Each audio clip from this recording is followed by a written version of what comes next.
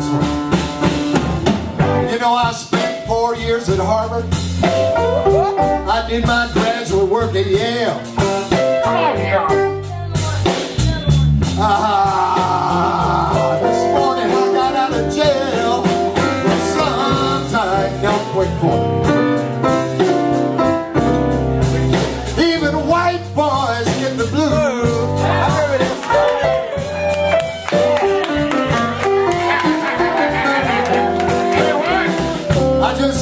I would tell you hadn't heard the news.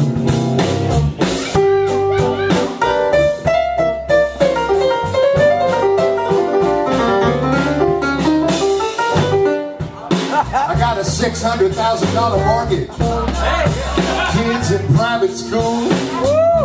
If I don't divorce my wife, you know my secretary says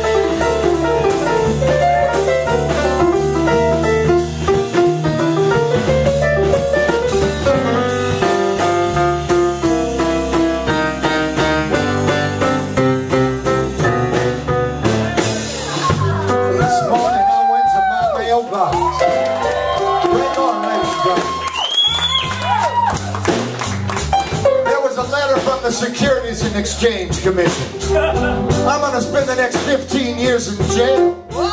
Son